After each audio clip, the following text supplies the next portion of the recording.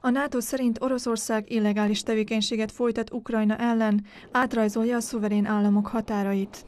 Anders Fogh Rasmussen, NATO főtitkár elmondta, ha bár az orosz csapatok egy része már vonul vissza az Ukrajnához közeli orosz területekről, továbbra is több tízezer katona tartózkodik Ukrajna határán.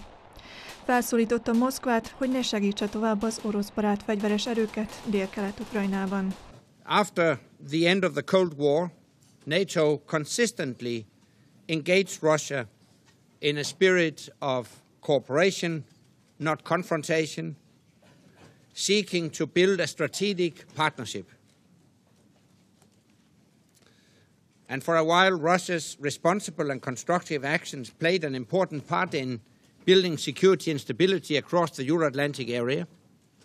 But today, Russia's irresponsible and illegal actions are a serious challenge to a Europe Rasmussen szerint intenzívebb gyakorlatba kell kezdeni a NATO reagáló erőnek, hogy képes legyen hatékonyan működni a válságos helyzetekben. Lengyelország azt kérte a NATO-tól, hogy küldjön csapatokat az országba, mert veszélyeztetve érzi magát Oroszország krími beavatkozása után.